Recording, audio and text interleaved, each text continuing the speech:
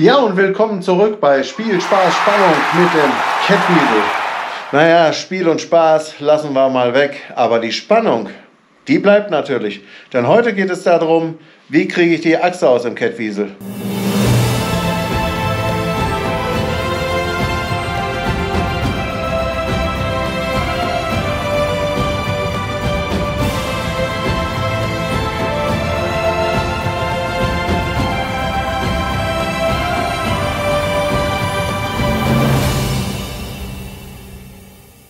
Ja, denn heute muss sie raus. Heute soll endlich diese Achse hier raus. Ich hatte im letzten Video ja schon gefragt oder gesagt, ihr sollt mal in die Kommentare schreiben, was ihr meint, wie man diese Achse da rausholt. Ja, so wirklich kam da nichts bei rum. Also keiner ist wirklich schlau, was das Kettwiesel angeht. Ich leider auch nicht, aber ich lasse mich natürlich nicht davon abhalten. Ich habe ja im letzten Video schon gesagt, das Prinzip, das Prinzip des Ausbaus ist klar. Aber das Material, das ist ja alles ineinander gefressen, das wirst du nicht mehr heile auseinander kriegen. Es reicht ja alleine schon, wenn wir uns hier die Achse angucken, hier das Endstück, wo man eigentlich mit dem Werkzeug drauf muss. Das ist schon total verhuddelt. Da war schon mal jemand bei. Wie ich im letzten Video schon sagte, hatte er Erfolg, hatte er keinen Erfolg, keine Ahnung. Nur hier jetzt noch anständigen Halt kriegen, ein Wahnsinn. Also ich glaube nicht, dass das funktioniert.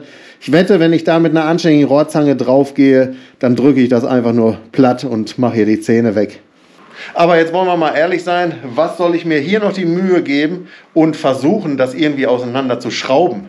Denn selbst wenn ich es dann hinkriege, dann sieht die Achse hier am Ende bestimmt noch ein bisschen schlechter aus. Und ja, das möchte ich dann auch nicht wieder einbauen. Also kann ich mir die Mühe doch gleich sparen, setze die Säge an und dann hole ich die Achse erstmal raus. Ja, und das Ganze gehen wir jetzt einfach mal an. So, als erstes werde ich jetzt mal die Achse hier mal, die Klemmung werde ich jetzt mal anlösen. Wieso habe ich eigentlich nicht meinen Ratschenschlüssel genommen, wenn ich doch einen habe? Aber ja. Was macht mir jetzt mehr Sinn? Nochmal aufstehen, den Ratschenschlüssel holen oder jetzt einfach weitermachen? Also einfach weitermachen. So. Hätte sich das Aufstehen nicht gelohnt. Ja, davon verspreche ich mir jetzt, dass ich die Achse hier noch ein Stück rüberschlagen kann, dass ich hier mehr Platz habe zum Durchsägen. Andere Überlegung wäre natürlich auch, ob ich es versuche, hier durchzusägen, die Achse. Dann bleibt mir noch das ganze Stück erhalten nachher, wenn ich es rausziehe, um ein bisschen ja, Material zu haben, wo ich anpacken kann, um vielleicht das Rad mal zu lösen. Weil ich würde mir gerne alles angucken, auch in dem Rad wie es befestigt ist. Da muss ich jetzt mal gucken, wie man am besten da hinkommt. Also ich würde sagen, ich werde auf jeden Fall erstmal das Schaltwerk hier entfernen, dass möglichst wenig im Weg ist. Weil es immer blöd, um Sachen drumherum zu arbeiten, die aber schnell eigentlich abgenommen wären. So, alles mal beiseite hier. Hängen wir mal dahin. Okay. Ja, jetzt kann ich mal noch sehen, dass ich eben mal die tolle Bremse hier noch löse, beziehungsweise den Bremsbelag da abmache. So, dann haben wir ein bisschen Luft, dann kann ich das Rad da auch noch rüberschlagen. Also ich versuche es jetzt doch mal zu dieser Seite, um es hier zu trennen. Ich muss nur mal gucken, ich habe gerade schon gesehen, dass ich bei der Flex, ich habe nur noch kleine Flexscheiben hier ob das reicht wegen dem Halter, ob ich da rankomme. Und sonst muss ich es halt per Hand durchsägen. Aber ich versuche wirklich, dass ich hier durchkomme und dann nach da rausziehen kann. Schauen wir mal.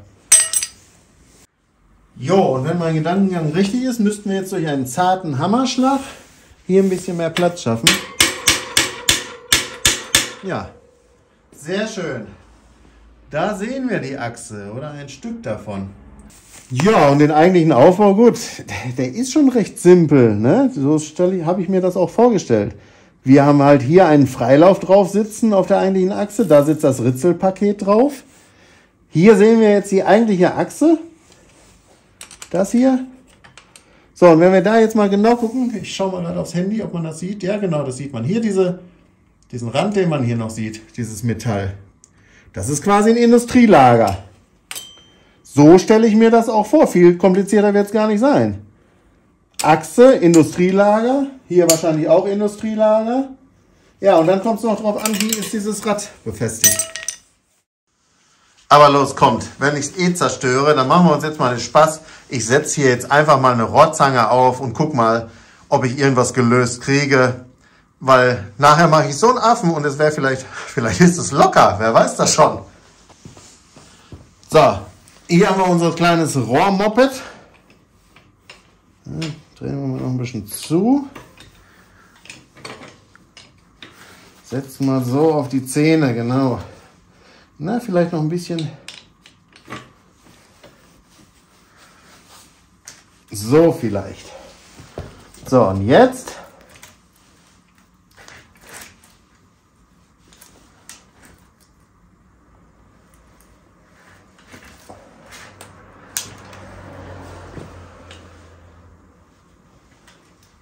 Ah, da passiert gar nichts.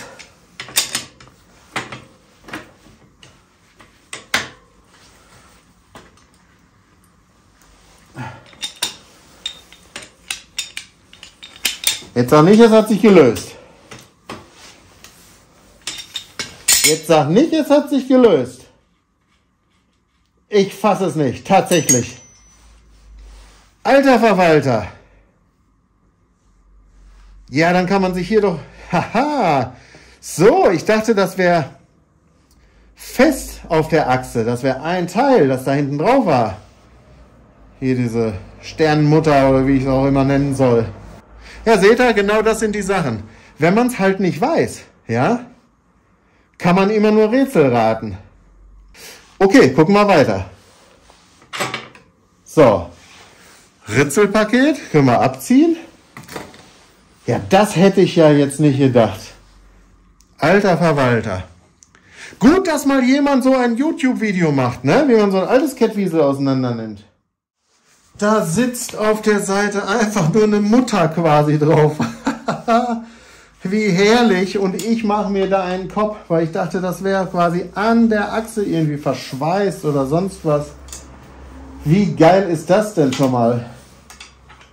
Na gut, gucken wir weiter. Jetzt machen wir die hypermoderne Bremse hier. Was ja auch mit ein Hauptgrund war, warum ich überhaupt hier angefangen bin, das Ganze umzubauen. Diese Kackbremsen. Ah. So, schmeißen den ganzen Rotz mal weg. Denn ich meine, wir sind mit den Geheimnissen noch lange nicht am, am Ende. Ich kann ja die nächste Frage stellen für die Kommentare. Wenn ich diese Achse jetzt rauskriege, ja, und danach sieht es jetzt aus, und dieses Rad hier heile runterkriege, so, dann will ich ja meine Sturmy Archer verbauen. Wie kriege ich hier den Kraftschluss auf die Sturmy Archer Narbe? Das muss ich mir dann mal genau angucken oder vielleicht kann es mir ja auch einer verraten. Ich bin halt nicht allwissend. Ich eigne mir das selber immer an. Ich nehme die Sachen immer auseinander und schaue dann.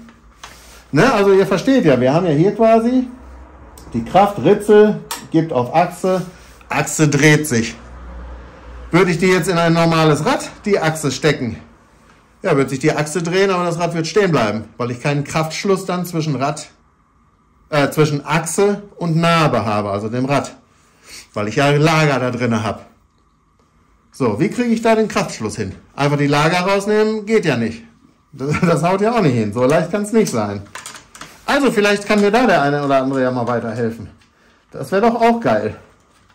Weil ich würde halt sehr gerne, da ich sie nun mal habe, oder sogar die eine erst noch gebaut, das eine Rad noch gebaut wird, die Sturmy Archer halt verbauen und nicht irgendwelche spezial, speziellen Narben, die es dafür gibt, sondern ich würde gerne die Sturmy Archer hier dann reinknallen. Aber ja, wie kriege ich den Kraftschluss hin? Schreibt in die Kommentare. Ich sehe jetzt schon den ein oder anderen Hase-Mitarbeiter, ja, der sich gerade dumm und dämlich lacht am Monitor und denkt sich, ich könnte es ihm ja verraten. Mache ich aber nicht. Gut, aber jetzt wollen wir die Achse endlich rausholen. Und dann haue ich mit dem Hämmerchen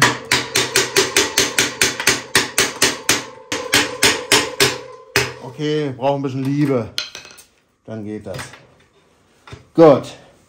Jetzt, ah, Gewinde, verkehrt rum. Da muss man auch immer erstmal dran denken, ne? Na, jetzt sind wir aber gespannt. Ja, aber so in etwa habe ich es mir vorgestellt, ne? Ganz simple Achse. Industrielager drauf. Die sich auch nicht mehr so schön anhören. Und ja, mehr ist es gar nicht, ne?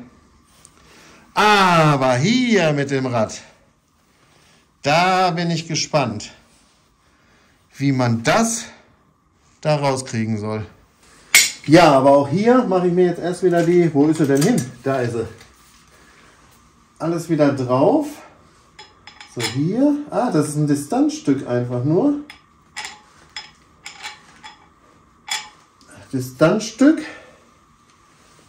Ja, und ist nach vorne abgeflacht. Ja, wegen dem Ritzel, ne? Denke ich mal. Ja. Okay, alles erstmal drauf. Die auch wieder drauf. Dass wenn ich gleich hier mit rumhantiere, ja, dass wenigstens nichts, nichts am Gewinde passiert. Ja, und jetzt schauen wir mal, ob wir dieses Rad da irgendwie runterkriegen. Dazu denke ich, haue ich das Teil mal in den Schraubstock. So, da haben wir unser Rad mit der Achse im Schraubstock eingespannt. Ich habe da jetzt mal Holz zwischen gemacht, damit das, ja, damit die Achse nicht vernudelt.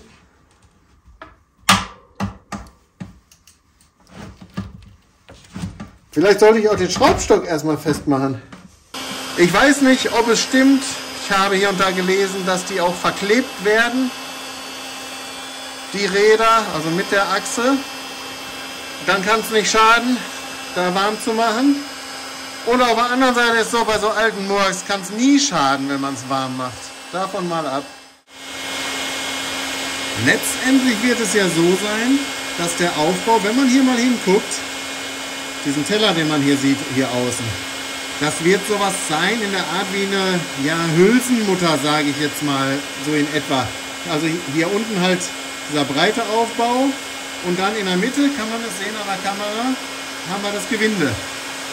Ja, das wird dann innen reingehen, was weiß ich, so ein kleines Stück. Und da ist wiederum die Achse drauf gedreht. Jetzt frage ich mich natürlich immer so als Normalo, wieso mache ich mir hier nicht was drauf, was ich auch mit einem Schlüssel von außen wieder losdrehen kann? Aber diese Frage, die kann ich leider nicht beantworten. Mir bleibt halt nichts anderes übrig als ja, experimentieren. Aber wenn wir genau hingucken, können wir auch schon sehen, dass hier schon Öle verdampfen, verbrennen, wie auch immer, fängt an zu qualmen. Das ist schon mal ein gutes Zeichen. Aber wir müssen ja, wenn das innen verklebt ist, sag ja, unter der Voraussetzung, dass das so stimmt, was man in den Foren so gelesen hat, sich zusammengelesen hat. Und wenn das so stimmt, dann müssen wir die Hitze ja innen reinkriegen. Auf die Achse kriegen. Schön ist, wenn einem das Gelumpe hier nichts mehr wert ist, wie diese Narbe, dann kann man damit ruhig umgehen, wie man will. Hauptsache man kriegt es auseinander. Jetzt versuchen wir einfach mal unser Glück. Ja, es dreht sich im Holz mit. Das dachte ich mir schon.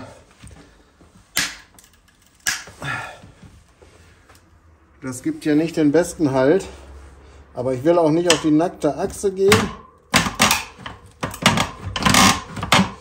Nee, das funktioniert so schon mal nicht. Und ich sollte meinen Schraubstock vielleicht auch mal festmachen. Verdammt. Das funktioniert schon mal nicht. Ja, die nackte Achse werde ich jetzt aber nicht einspannen, sonst mache ich mir die nur kaputt. Bisher ist ja noch alles heile, dann lassen wir es auch heile. Ich werde jetzt einfach mal hier mit der Flex einen Cut reinmachen und versuchen, ob ich das mit einem Schraubendreher dann und Hammerschlägen gedreht kriege.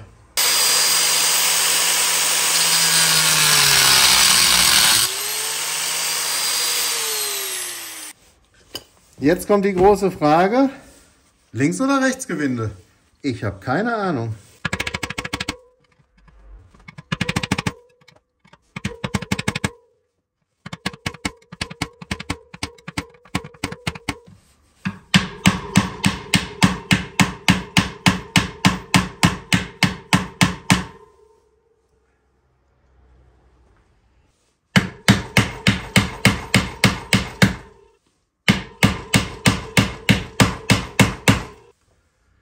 Tja, wie wir sehen, arbeitet sich der Schraubenzieher in das Material Aber zu drehen ist da immer noch nichts.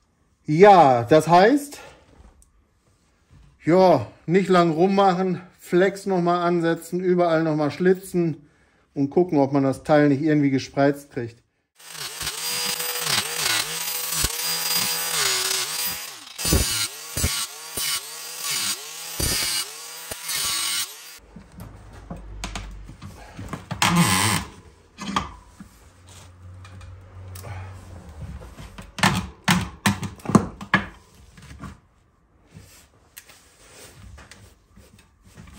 So, jetzt aber.